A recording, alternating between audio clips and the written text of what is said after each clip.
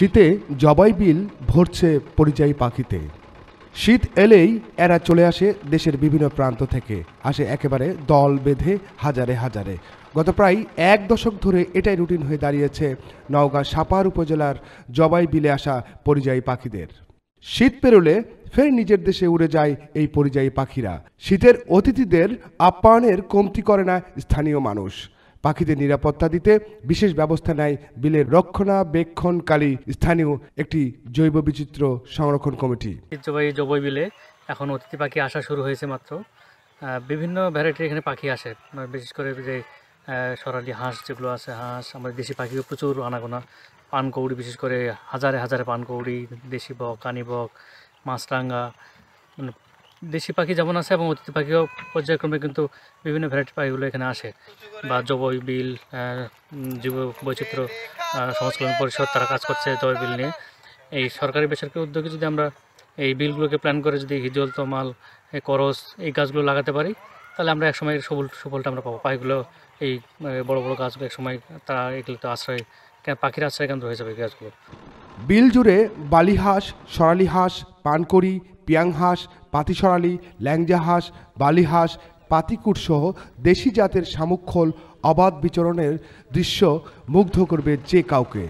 দিনভর মানুষ আসছেন মুগ্ধতা ছড়ানো এমন দৃশ্য দেখতে। জবাই বিলের নাম শুনেছি অনেকদিন এবং সবচেয়ে মজার বিষয় হচ্ছে যে জবাই বিলে শীতকালেও পানি পাওয়া যায় এবং এখানে প্রচুর অতিথি পাখি সরাসরি দেখা যায় এবং খুব কাছ থেকে দেখা যায়। সো এই জায়গাগুলো আসলে কিন্তু দেশের পর্যটকদের অনেক টানে। আমার কাছে মনে হয় সরকার যদি সুব্যবস্থা নেয় এবং স্থানীয় প্রশাসন যারা আছে তারা যদি পর্যটকদের এখানে আসা যাওয়ার সুবিধা সহ অন্যান্য যেসব সুবিধা আছে সেগুলো নিশ্চিত করতে পারে তাহলে নওগাঁও আহ, পর্যটনের খাতের জন্য একটি সম্ভাবনা জেলা হিসেবে নিজেদের নাম আত্মপ্রকাশ করতে পারবে। পরিযায়ী পাখিরা কিসের টানে ভিড় করে এই জবাই বিলে স্থানীয়রা বলছেন, গত এক দশক আগেও উপজেলা থেকে দুই কিলোমিটার দূরে থাকা জবাই বিল এলাকায় বিলটি পড়ে থাকত অনাদারে। সেখানে কালে ভদ্রে স্থানীয় দু একটি মাছরাঙ্গা অথবা বগ নামলেও পরিযায়ী পাখিদের দেখা মিলত না। কিন্তু গত এক দশক একান্তে পড়ে থাকা সেই বিলের চেহারা ধীরে ধীরে বদলে গিয়েছে। এখন ডিসেম্বর মাস পড়লেই এই বিলে আসতে শুরু করে সরাল জাতীয় পরিযায়ী পাখিরা। প্রথম দিকে সংখ্যায় কম এলেও ধীরে ধীরে সংখ্যাটা ক্রমশ বৃদ্ধি পাচ্ছে। দাবি জীব বৈচিত্র্য সংরক্ষণ কমিটি কর্তৃপক্ষের।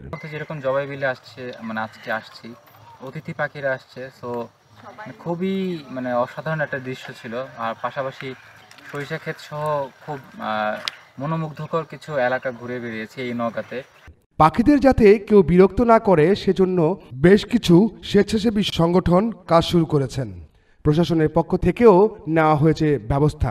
এখানে অনেক দূর দূরান্ত থেকে লোকজন আসে, সেই পাখি কলোনি এখানে শীত সময়ে পাখি, ইন্ডিয়া থেকে পর্যায়ে পাখি আসে, পাখি শীতকালীন এসে এরা আহরণ করে মানে শামুক, তারপরে মাছ বিভিন্ন রকম এরা খেয়ে থাকে। প্রকৃতি সংরক্ষণ সংস্থা আইইউসিএন এই পরিযায়ী সকল প্রজাতিকে বিপদমুক্ত বলে ঘোষণা করেছে। বাংলাদেশের বন্যপ্রাণী আইনে এই প্রজাতিটি সংরক্ষিত। এছাড়া সব পরিযায়ী পাখি শিকার নিষিদ্ধ।